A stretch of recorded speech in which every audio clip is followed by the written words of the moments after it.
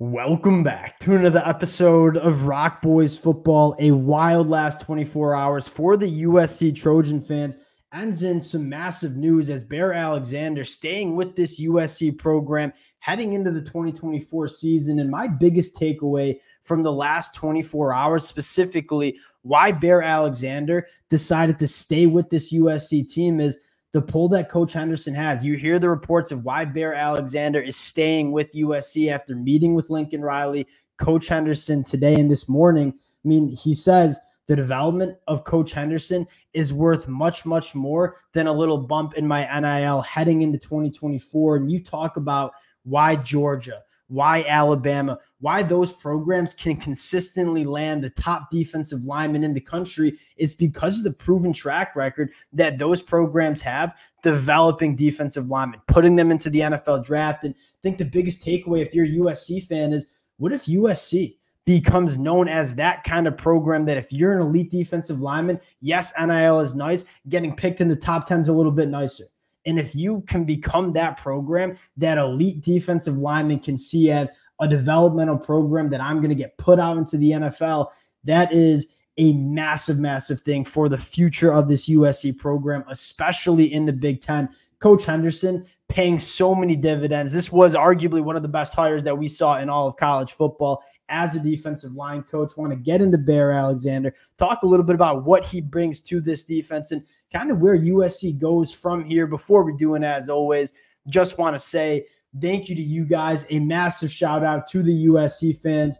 The amount of support y'all have shown over the last couple of weeks as we've broken down these commitments, talked about this program, it means the world. I even got the USC commitment sweatshirt on right now, essentially Bear Alexander recommitting to USC. Cannot thank you guys enough for rocking with the fellas. If y'all do enjoy the content, consider subscribing to the channel. And without further ado, let's get into this one. And I want to start with kind of what we started with this morning, where we had this conversation about how does USC go about replacing Bear Alexander on the defensive line. And the first thing I said was, you can't really replace a guy like Bear Alexander. I think the best avenue for USC to have gone through is all right, we lose Bear Alexander. Maybe we can bring in a lot more depth on this defensive line, but make no mistake about it, you don't replace a guy like Bear Alexander. What excites me the most about Bear heading into 2023, it's really two things. One, he's going into year three of his college football career. That is normally where you see defensive linemen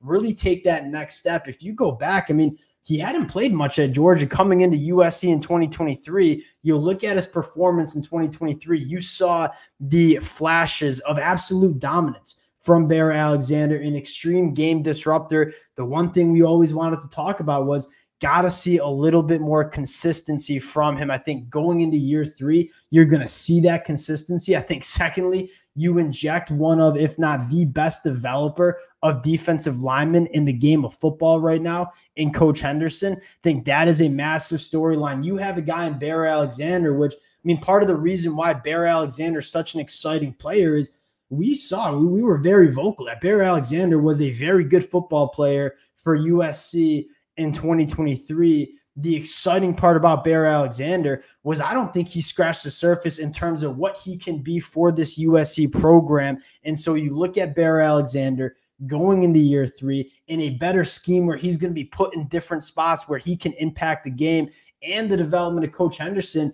You're looking at Bear Alexander potentially breaking out to be one of the more dominant defensive linemen in college football. And you take a look at what USC has on this defensive line I mean, it was going to be a little bit concerning if Bear Alexander had left. And do we still want to see some depth added for this USC defensive line in the transfer portal? Absolutely. And we're going to talk about that.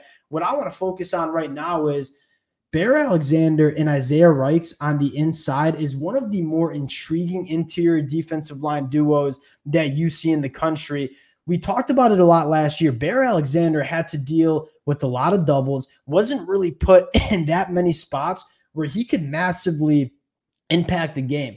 And I think going into the 2024 season, you're going to see Bear not only get better as a football player, getting coached up by Coach Henderson going into year three. I think you're going to see Bear Alexander get put in more spots where he can really impact the football game We talk about it all the time. D'Anton Lynn, one of the best attributes that he brings to USC is how he uses his personnel. And you have a guy like Isaiah Raikes who is not going through stuff the stat sheet. Right? This is a guy that's going to eat double teams. He's going to win at the point of attack, but he's not necessarily going to be a 10 sack a year guy. Now, you look at Bear Alexander, he now has the opportunity to be a stat sheet stuffer, and that's fully what I expect from Bear Alexander heading into that 2024 year. Now, we'll talk about it because I do think USC still needs to add some depth on that defensive line. And we talked about if Bear left, they could maybe use some of that NIL budget to really bolster up that depth.